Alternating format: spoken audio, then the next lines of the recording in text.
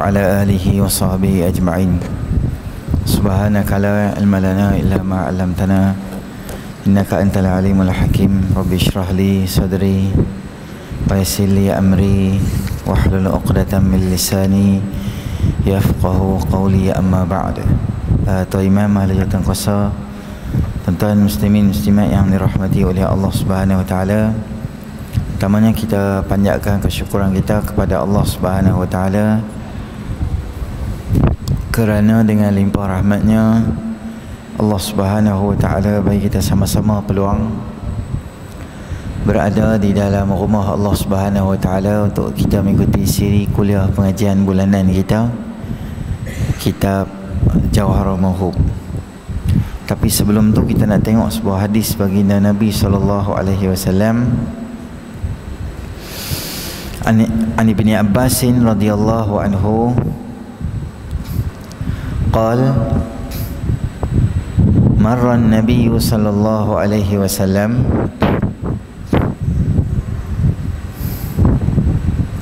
بحائط من حيطان المدينة أو مكة فسمع صوت إنسانين يعذبان في قبورهما. Kata Ibnu Abbas radhiyallahu anhu suatu ketika baginda Nabi sallallahu alaihi wasallam berjalan di salah satu daripada perkuburan di Mekah atau di Madinah syak rawi dia tak pasti di Mekah ke di Madinah fasami'a sauta insanaini yu'adzabani fi quburihima.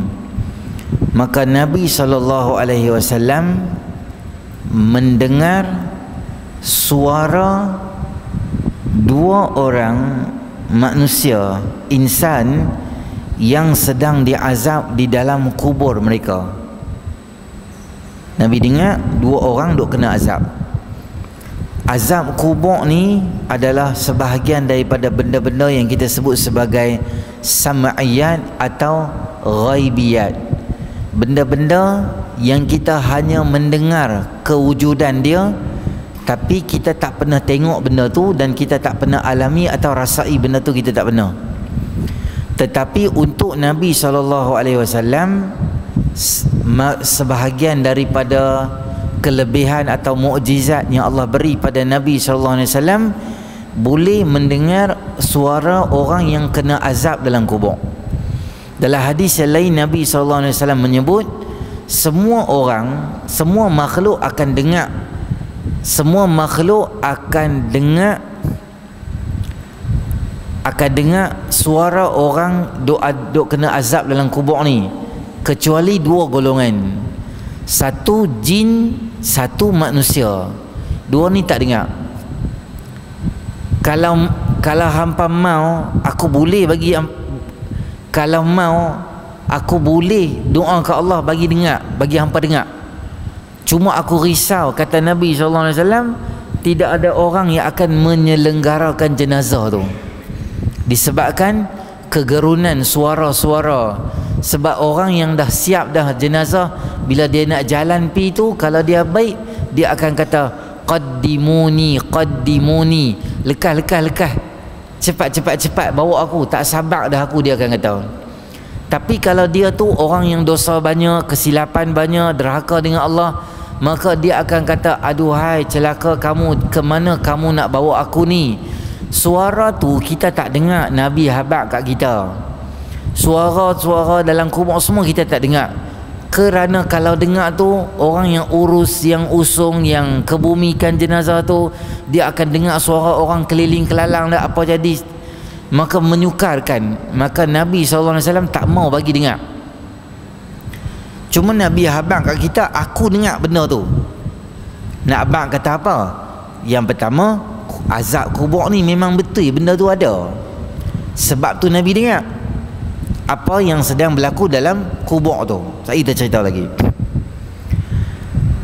Maka Nabi wasallam menyebut yu'adzabani wa ma yu'adzabani fi kabirin thumma qala bala kana ahaduhuma la yastatiru min baulihi kedua-dua orang ini sedang diazab kerana kesalahan besar yang telah mereka ni buat kana ahaduhuma salah seorang daripada depa yang duduk dalam kubur ni la yastatiru min baulihi. Dia tidak cermat ketika dia ni buat yang kecil. Dia tidak hati-hati. Dia tidak sempurna. Dia tidak menyelesaikan urusan buang ayat kecil dia tu dengan betul sehingga dia kena azab yang pertama. Bab itulah tuan-tuan muslimin rahmati oleh Allah. Jangan kita ingat ada orang akan tanya eh hampa kat masjid belajar apa hari ni? Alah kami belajar istinja. Macam mana nak cuci ayat buang ayat besar basuh dengan buang ayat kecil basuh. Dia kata hampa ni tak habis-habis kerja duk belajar buang air besar macam mana duk cuci istinjak yang tu duk belajar. Benda lain tak belajar ke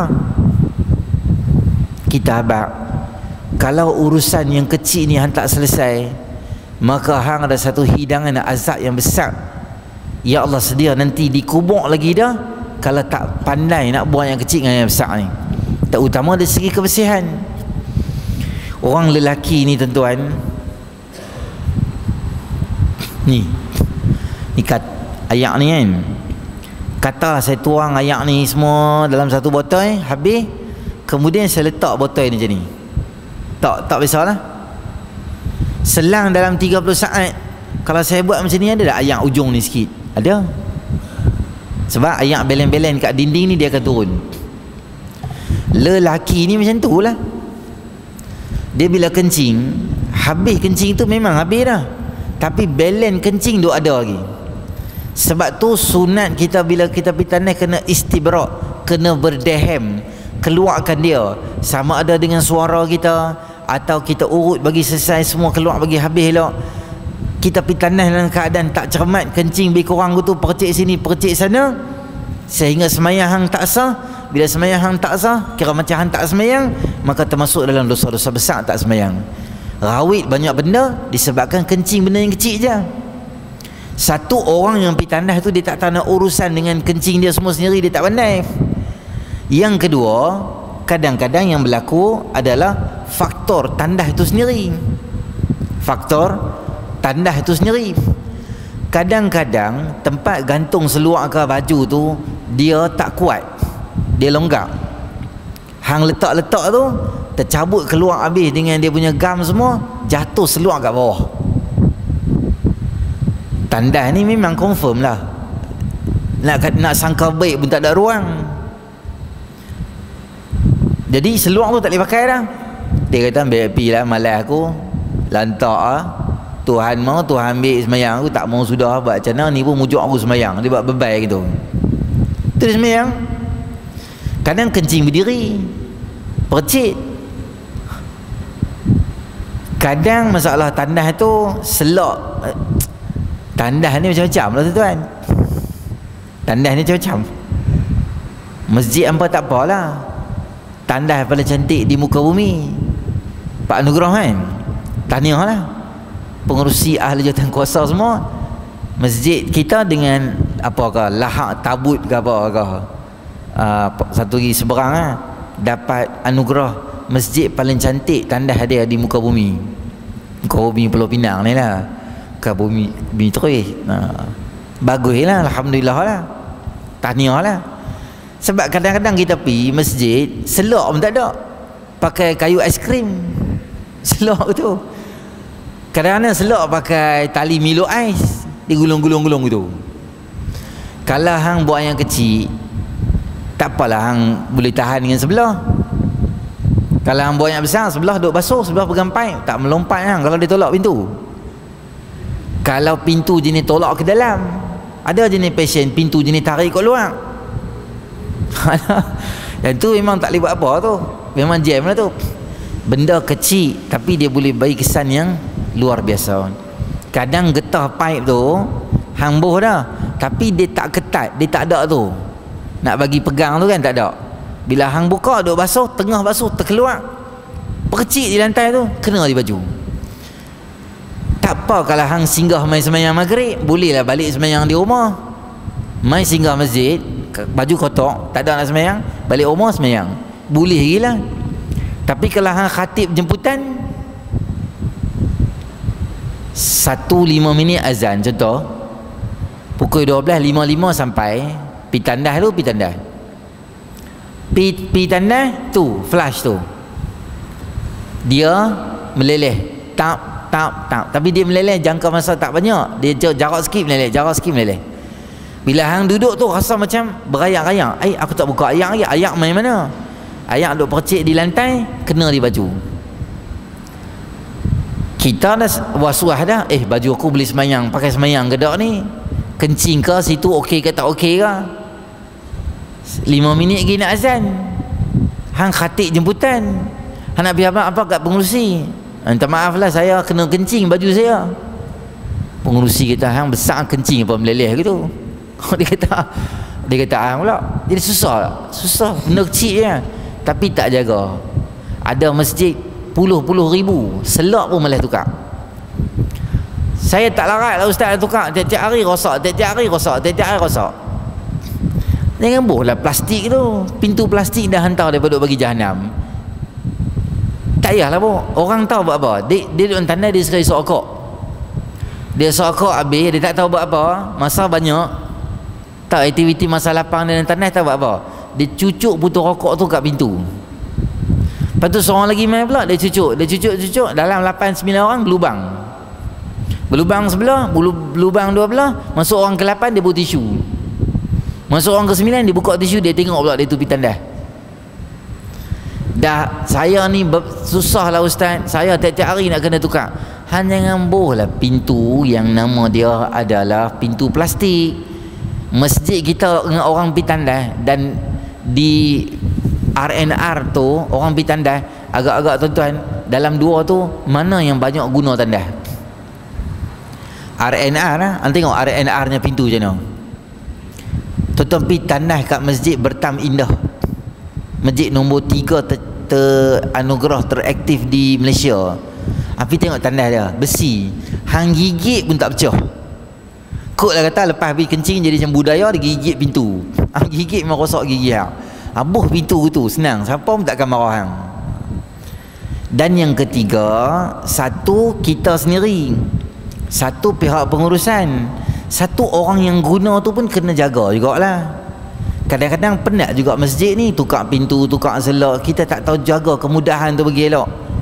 Pi tanda tak tahu tekan elok-elok. Orang suruh duduk dia berdiri, orang suruh berdiri dia tidur dalam tu. Lepas tu benda yang tak boleh bubur semua dia tekan dalam tu habis jadi rosak habis duit masjid duk maintenance tanah ni pun penat kak jadi semua orang kena jaga supaya kita bila pergi kencing tak, utamanya pergi tandas kencing bagi elok-elok bagi selesai buang elok-elok kita tahu keadaan kesihatan diri kita. Ada orang yang dia tak boleh kencing dekat-dekat waktu semayang sebab takut meleleh. Kencing kalut macam tu masa rukuk dia keluar sikit. Masa tahiyat akhir dia keluar sikit. Jadi hang kena ada gap kalau azan maghrib pukul 7 contohnya hang kena kencing pukul 6.40 kencing siap-siap. Jadi nak jadi pukul 7 tu dia pergi tandas dia bersih balik maka okey bersih. Kita tahu masing-masing kesihatan kita kita kita tahu. Kalau kita okey saya tak ada masalah ustaz kencing saya okey. Okey tak apa tak ada masalah. Cuma jangan sampai kita buat benda-benda yang boleh menyebabkan ibadah kita terganggu sebab istinja kita tak tak sempurna dan yang ketiga wal wakanal akharu yamshi bin namimah. Dan orang yang kedua adalah orang yang dia ni suka mengadu domba atau suka uh, talam dua muka lah senang kita kata bahasa kita tu.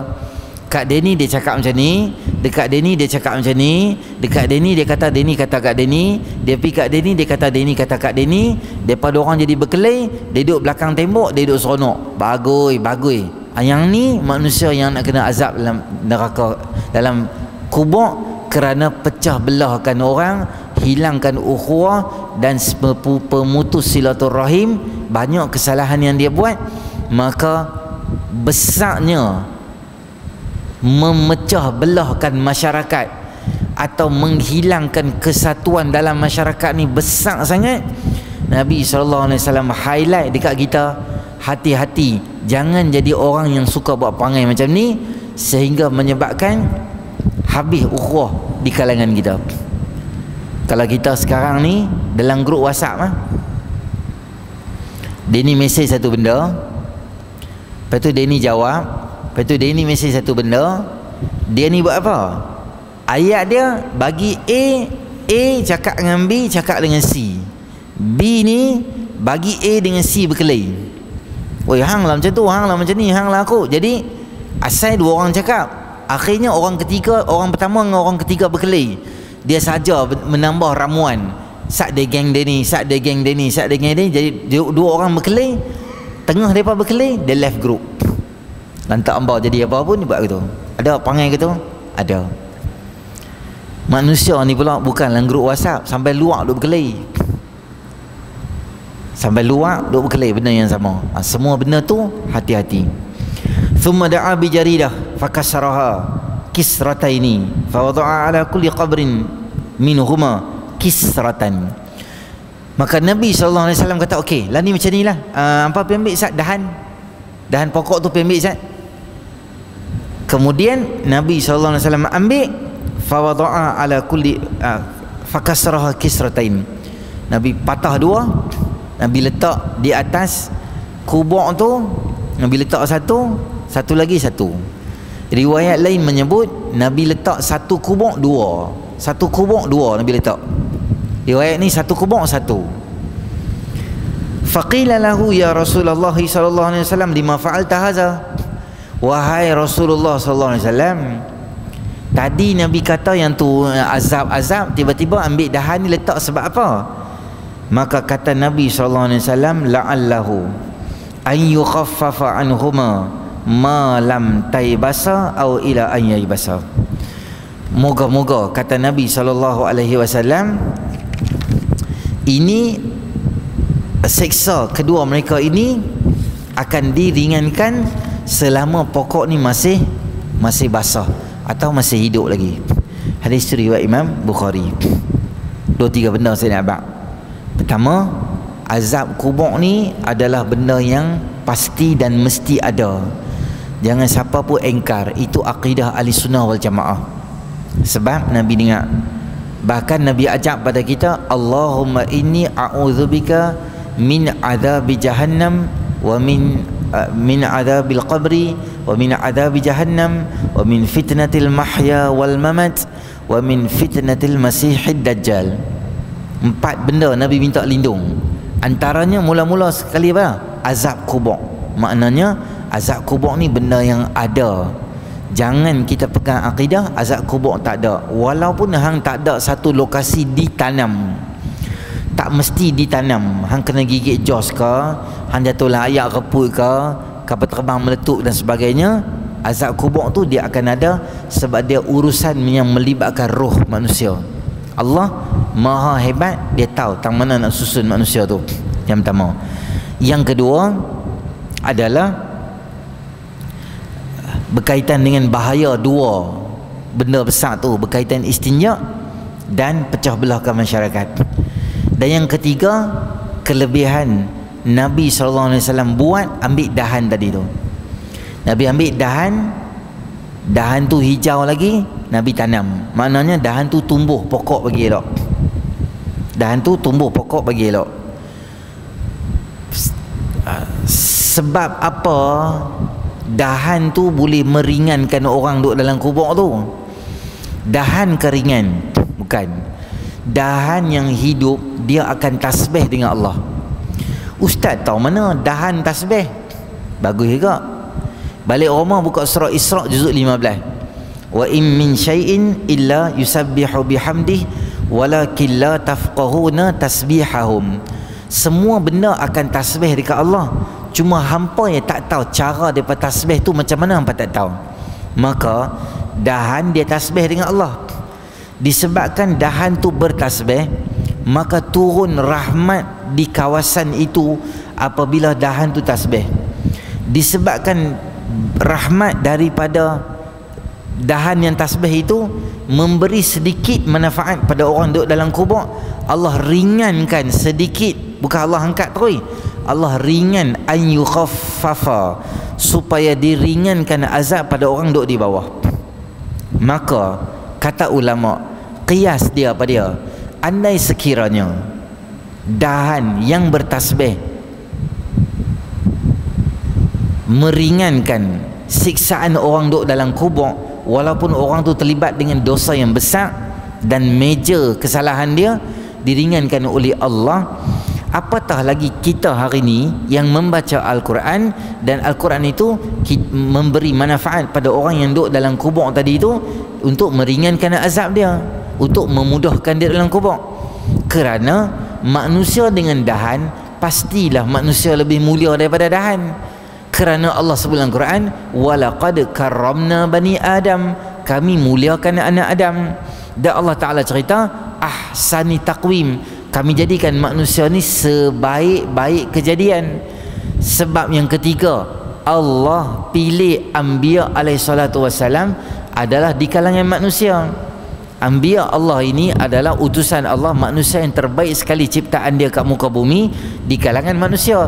Tak ada satu nabi di kalangan pokok, rumput dan sebagainya. Maka kemuliaan manusia berbanding dahan pokok hebat lagi manusia.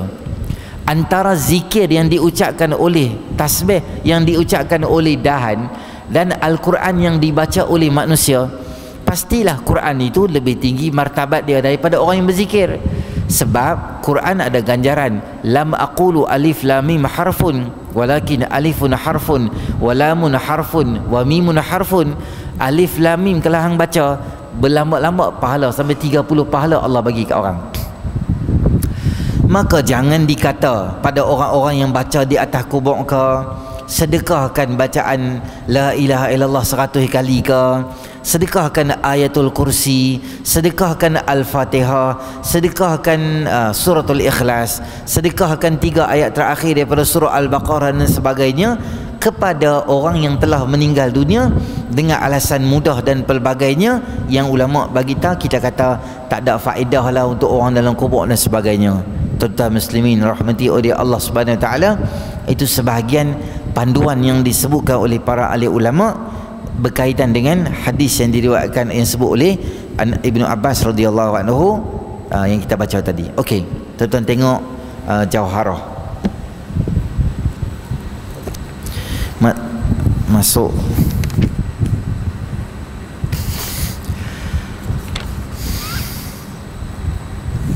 Muka surat 26 Qala al-musannif rahimahullahu ta'ala wa nafa'ana Allahumma bi'ulumihi fid daraini amin ya rabbal alamin. Alhamdulillah dinamakan doa. Kita masih berada dalam bab kelebihan dua kalimah syahadah. Itulah kelebihan la ilaha illallah.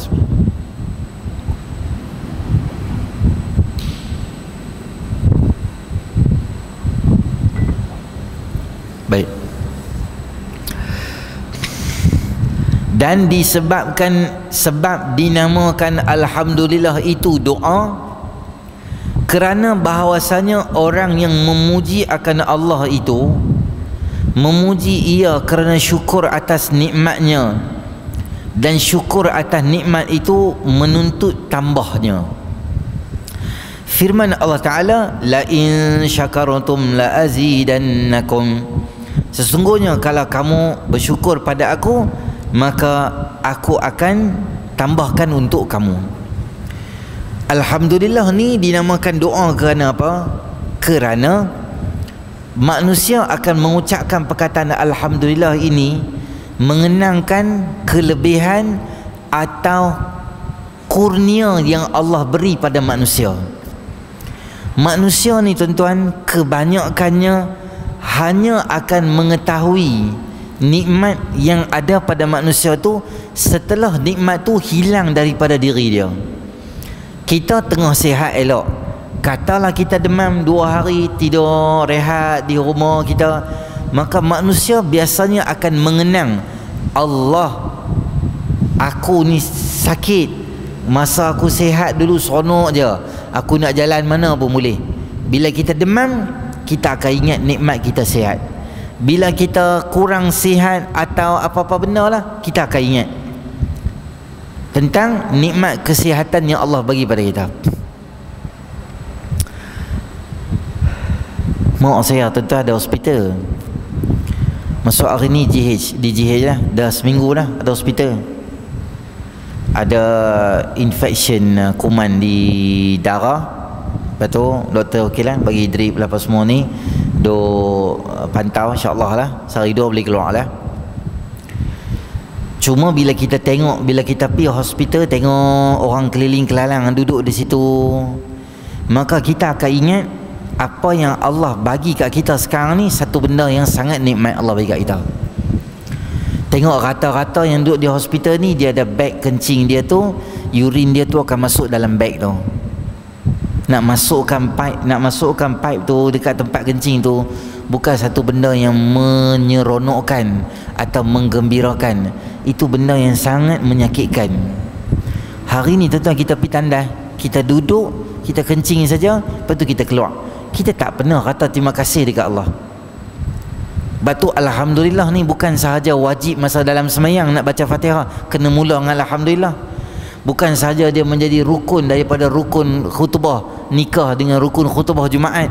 Mesti tu imam tu kata perkataan Alhamdulillah. Dalam bahasa Arab dia tak boleh cakap dalam bahasa Melayu tanpa bahasa Arab. Atau dia cakap dalam bahasa Inggeris praise to God ganti dengan Alhamdulillah. Semayang Jumaat hari tu tak sah dia kena ulang balik. Mesti sebut Alhamdulillah dalam bahasa Arab. Kemudian nak cakap dalam bahasa Melayu segala puji bagi Allah tu lantak hang lah dan keluar daripada tanda perkara pertama Allah ajak kepada kita Nabi sallallahu alaihi wasallam ajak apa? Alhamdulillahillazi adhaba annil adha wa afani. Maha suci bagi Allah yang telah hilangkan kotoran aku dan telah maafkan aku.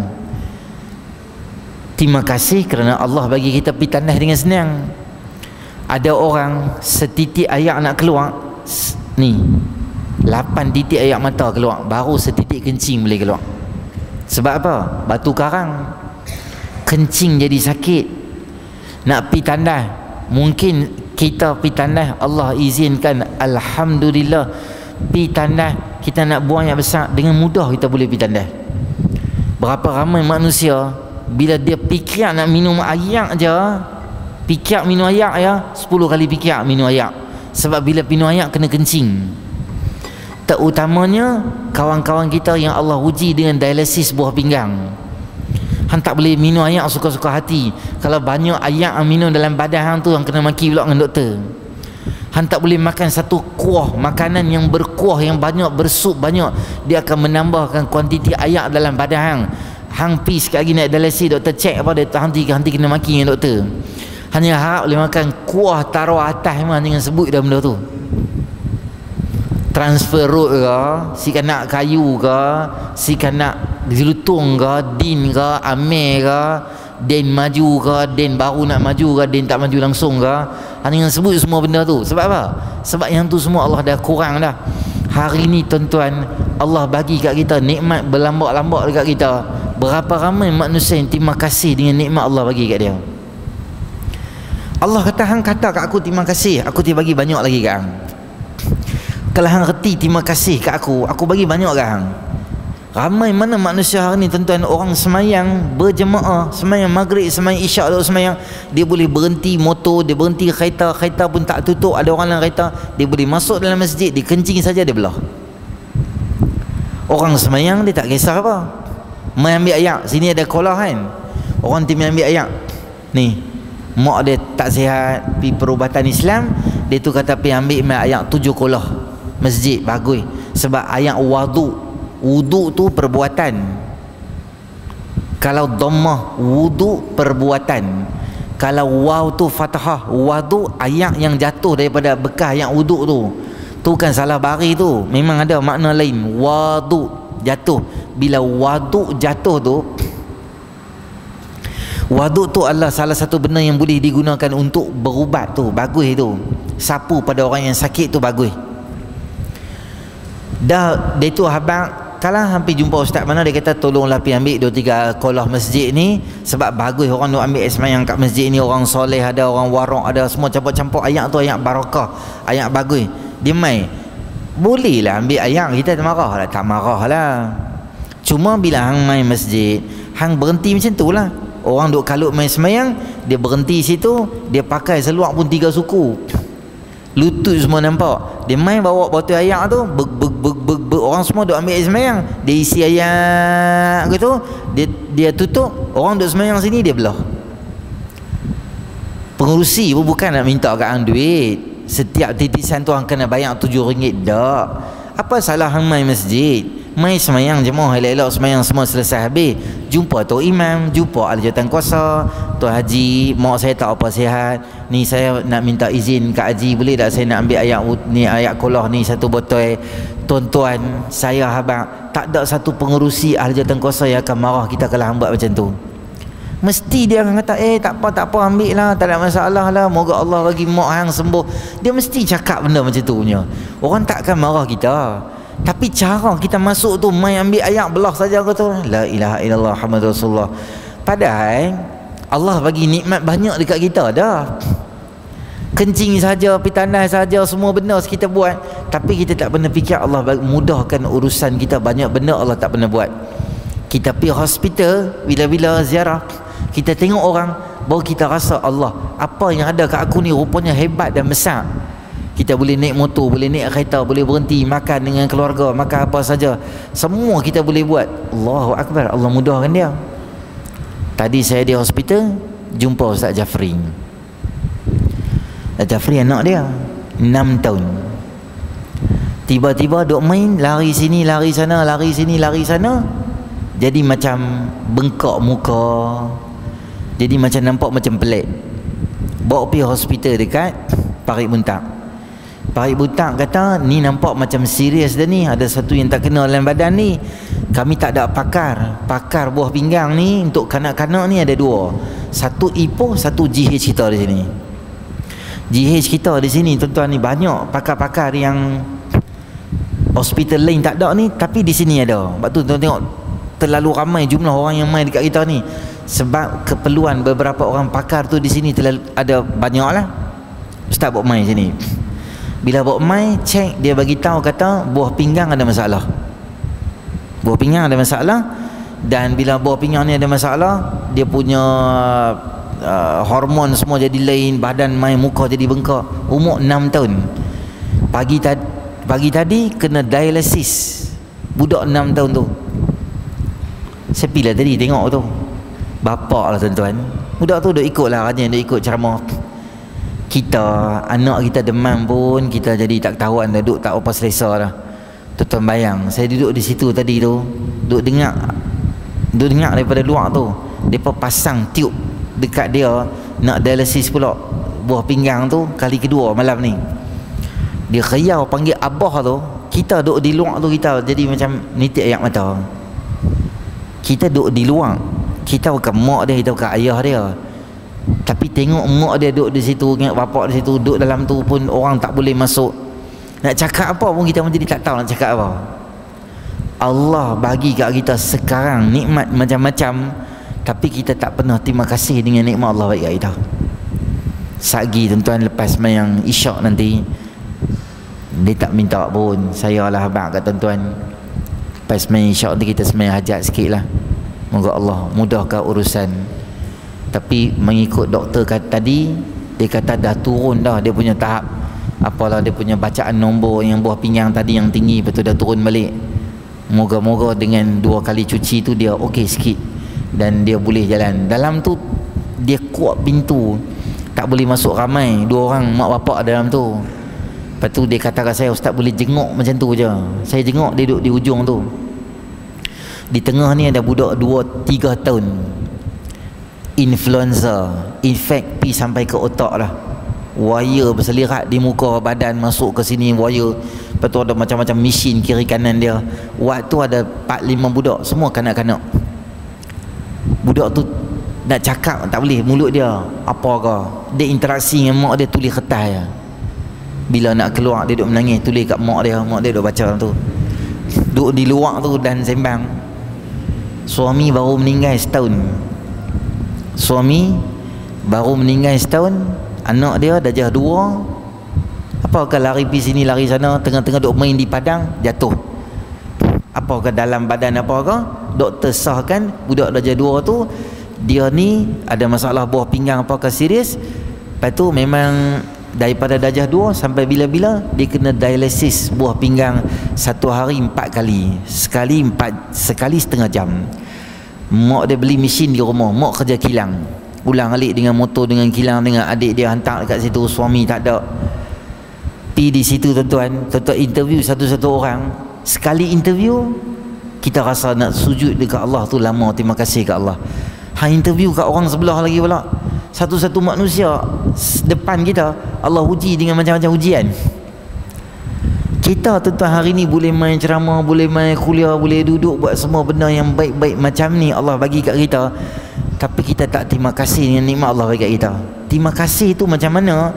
Bukan saja terima kasih ya Allah terima kasih. Kan tu? Tu dan terima kasih macam mana? Tunjuk terima kasih tu. Macam tuan-tuan main ni lah. Maghrib isyak mai belajar Ada waktu terluang untuk baca Quran Bacalah Quran. Kalau tuan-tuan duduk macam wire berselirat gitu Dengan mata Dengan wire sini wire sana Tang mana tuan-tuan nak buka Quran Nak baca tang mana? Tang mana nak pegang tasbih Nak zikir Nak selawat tang mana? Tang mana nak start motor kereta Nak main semain jemaah tang mana? Tang sehat ni Pulun banyak-banyak mana boleh buat kawan sakit lutut tu dia akan menangis sekarang ni. Dia kata kalau aku sihat dulu banyak dah aku rakaat aku semayang. Lah tak boleh semayang banyak dah Ustaz. Lutut tak apa sihat dah. Bila kita rasa bila benda tu tak ada daripada kita. Maka hari ni tuan-tuan muslimin rahmati oleh Allah perkataan Alhamdulillah yang kita ucap tu masa tu imam wiri kan Alhamdulillah Alhamdulillah Alhamdulillah. Jangan tang ni ya. Ingat tang ni Allah bagi aku mata Allah bagi aku telinga Allah bagi aku isteri Anak Kekayaan Kemewahan Kerja Senang Mudah. Semua Allah bagi aku. Alhamdulillah Alhamdulillah. Han cakap tu Zikir tu Dengan Perasaan yang penuh. Itulah makna Han sebut nama kata Alhamdulillah tu. Terberhenti siap untuk azan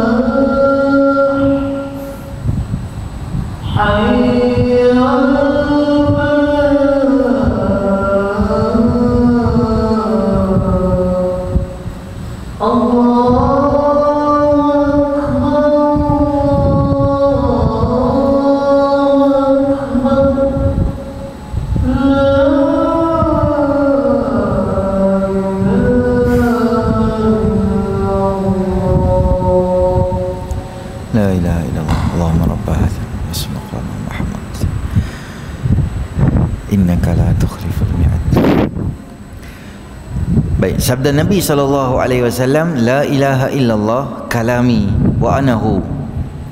Man qalaha dakhala hisni wa man dakhala hisni amin min iqabi. Dan sabda Nabi sallallahu alaihi wasallam dalam sebuah hadis kursi firman Allah taala La ilaha illallah itu adalah kalam aku dan aku ia.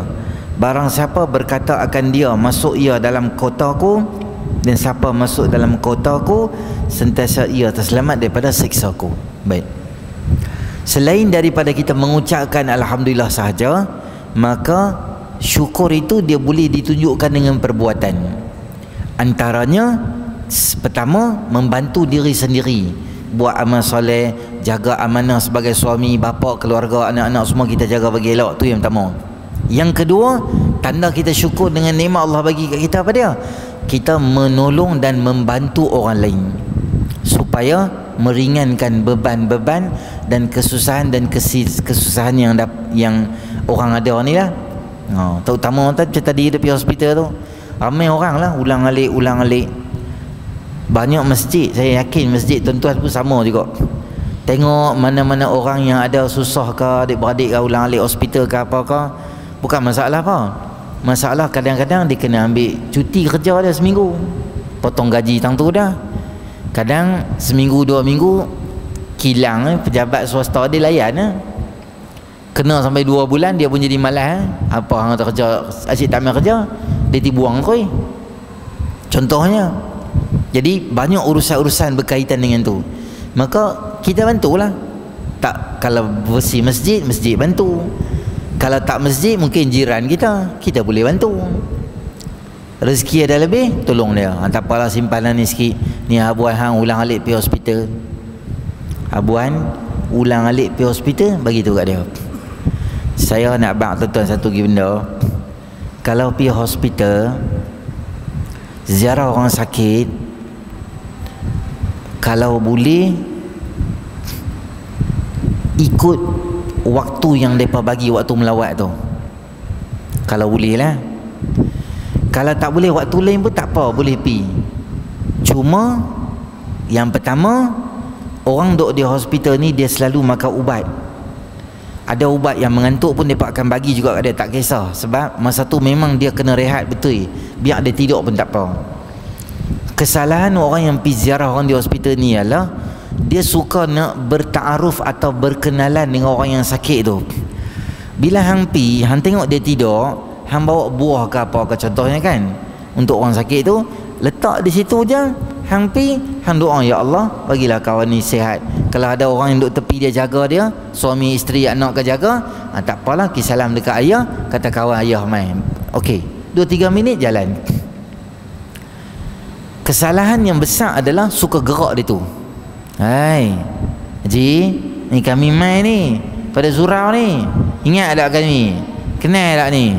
Gaya Haji Mat ni. Contoh ah. Hanya apa? Facebook nak berkenalan. Kawan tu duduk menerap Tidur duduk kacau dia. Buat apa? Biar dia tidur lah. Alah ustaz saya sembang saja Hang tahu tak berapa orang cakap macam ni? 80 orang. Gaya dia nak tidur dia tu gerak Gaya dia tu nak tidur dia ni gerak. Tak, tak sembuh sakit sebab tak ada nak tidur. Semua pakai duduk gerak dia. Sabar. Bagi dia tidur. Okey. Bagus dah jihad sebab waktu melawat tu bagus. Sebab dia bagi ubat semua cantik dah time tu.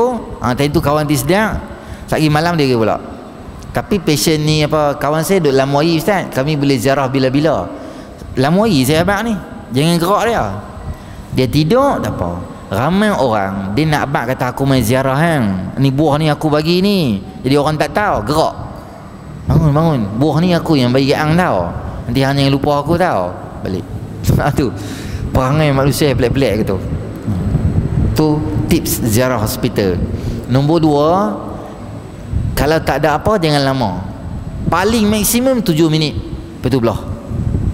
Jangan lama tunggu orang tak tahu apa-apa isteri dia nak angkat suami dia isteri dia nak apalah lak badan ke apa jadi segan lah isteri dia duduk tepi kita tak mau balik-balik sampai nurse nak tukar pampers pun jadi susah Ah, ha, pak cik tepi sikit nah, tukar pampers. Lah pakai pampers ke? Tegak pula tu. La ilaha illallah Muhammad Rasulullah. Suami accident duduk di situ. Jangan duk ulang ulang ulang ulang ulang tanya dekat isteri dia apa jadi. Apa jadi? Ha, suami accident lah, dia bawa kereta tadi tu. Ah. Lepas tu dia ulang balik. Sagi orang lain main pula. Eh awak jadi apa? Eh awak jadi apa? Tuan-tuan, isteri dia empat hari duk ulang benda sama. Lala dia rakam dengan WhatsApp tu, dia letak tu. Dia tak suami jadi apa? Dia tunjuk kat handset. Dia tahu kan? Hampir dengar. Oh, tak lakat cakap lah. Kadang dia dah lupa tau benda tu dia macam okey boleh terima, boleh accept, okey dah suami dia pula seminggu dah. Itu main pula. Eh jadi apa suami? La ilaha illallah. Hanya ayah tanya lah Hampir tanya kau online mana-mana jauh Hanya kacau minda orang duk sakit ni semua Time tu nak tanya Lepas tu dia kata lah Alah ha, kami naik motor tu hmm, Dia ni bukan boleh harap Bawa motor je pelesik Dia kata macam tu pula kat isteri dia La ilaha illallah Rasulullah Panggil doktor mai Cucuk kat pungkuk orang satu ubat Terus hang tak payah pergi mana Duk tang ni ya Pergi melingkup orang. Dia main menyusahkan orang. Ha, Main menyusahkan orang. Main menyenangkan orang sakit tak apalah. Ada satu cerita di sini tuan-tuan ya. Cerita daripada Wahid ibn Zaid. Bahwasanya berkata ia adalah aku pada perahu maka dicampakkan kami oleh angin ke pulau. Maka keluar kami ke pulau itu maka kami lihat seorang lelaki menyembah berhala. Maka kami kata kat dia, engkau semua berhala dan ada pada kami orang yang tahu perbuatan seumpamanya. Maka kata dia, siapa yang kamu sembah? Maka kami kata, baginya kami sembah akan Tuhan yang langit dan arasnya dan pada bumi itu penamparnya dan pada laut itu jalannya. Dan berkata ia siapa yang beri ketahu kamu kamu dengan dia? Kata kami bangkit ia kepada kami rasul. Maka diperbuat dengan rasul apa? Maka kata kami diqabat yakni diambil akan dia oleh milik kepadanya. Berkata ia adakah tinggal pada kamu apa alamat sesuatu bahkan kitabul malik katanya. Adakah pada kamu sesuatu? Maka kami baca atasnya ar-rahman maka sentiasa laki itu menangis sehingga habis surah tu. Okey. Kata satu ulama namanya Syekh Abdul Wahid bin Zaid kami satu hari naik kap, naik sampan lah. Kapal ke sampan macam tu jalan sampai satu tempat apa yang berlaku? Ombak dan angin terlalu kuat. Sehingga menyebabkan kapal kami terbalik kami pun lari-lari. Akhirnya kami selamat kami pergi parking kat satu pulau tu kami pun dalam keadaan tengok kiri tengok kanan di pulau tu jalan-jalan-jalan kami jumpa seorang lelaki. Ni kita nak abad kelebihan la ilaha illallah ni. Lelaki tadi tu sembah berhala. Masa dia sembah berhala kami tanya dekat dia hang sembah berhala ke? Kami pun ada benda kami sembah tapi kami tak sembah berhala. Kawan tu tanya hampa sembah apa kami sembah Allah. Allah lah pemilik langit pemilik bumi laut. Semua ni Allah yang buat. Dia tu tanya hampa tahu mana Tuhan buat semua benda ni? Siapa habaq kat hampa? Yang habaq kat kami ni satu. Dia hantar main orang. Nama orang tu nama rasul. Dia main abang kat kami. Dia tu tanya rasul tu mana dia kata rasul tak ada dah. Rasul meninggal lama dah. Kalau macam tu apa bukti kata rasul tu abang kat hampa? Yang abang hampa semua hampa macam mana hampa percaya? Ada ada tinggal apa-apa kat hampa? Ada. Tinggal apa? Tinggal Quran kat kami. Oh tinggal Quran. Uh, mana tunjuk saya kat aku?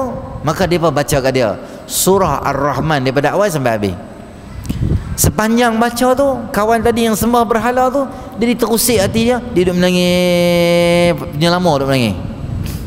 Kemudian dia kata tiadalah sayugiannya bahwasanya dimaksiatkan aku dimaksiatkan akan empunya kalam ini. Kemudian kami lentangkan atasnya akal Islam maka Islamlah dia. Bila dia dengar Quran tu dia kata eh kalaulah ada orang kalaulah macam ni lah hebatnya Quran aku ni tak patut derhaka ke Allah. Maknanya patut aku sembah Allah lah. Sebab yang ni benda hebat. Tuhan yang hantar main ni. Eh tak patut aku pergi sembah benda lain. Dia cakap macam tu. Bila dia cakap macam tu mereka ni ambil peluang mereka pun cerita dekat Islam pasal macam-macam. Dia kata bagus Islam ni. Okey aku masuk Islam. Aku masuk Islam. Maka tatkala kelam malam dan semayang kami akan isyak mengambil kami akan tempat tidur kami maka berkata ia apakah Tuhan yang kamu tunjuk itu? Akan aku tidur ia. Kami kata tetapi ia hi, tetapi ia hidup berdiri dengan sendiri tiada tidur. Katanya sejahat hamba kamu itu tidur dan Tuhan kamu tiada tidur. Dan tak tak kala sampai ke darat kami himpun baginya sesuatu daripada darahim yakni dirham. Maka katanya apa ini kata kami bekal atas diri. Katanya kamu tunjuk aku jalan yang tiada aku lihat. Akan kamu menjalani akan dia adalah aku sembah akan dia selain daripadanya. Maka tiada ia sia-sia akan aku maka adalah adakah ia mensia-sia aku sekarang? Kemudian daripada aku sembahkannya. Okey. Okeylah dia dah masuk Islam semua. Depa nak tidur malam. Okey semaya isyak semua selesai di, di pulau tu depa nak tidur masa depa nak tidur dia ni baru masuk Islam dia tanya eh Tuhan yang hampa habaq kat aku tadi tu kan? Yang aku baru je kenal Tuhan tu. Tuhan tu lena ke tak dia kata hai Tuhan ni bukan tak lena mengantuk pun tak la tak khudu sinatu wala naum mengantuk pun tak tidur pun tak maka kawan tu kata aku kita ni hamba yang lemah kita tidur Tuhan hebat dia tak tidur. Hu dia masa bertambah lagi keyakinan akidah dia. Okeylah sampai kisah semua depa selamat pi kat darat pun semua habis selesai dah depa sampai kat darat balik tak sampai tak selamat daripada pulau tu depa buat collection sikit bagi kat dia lah.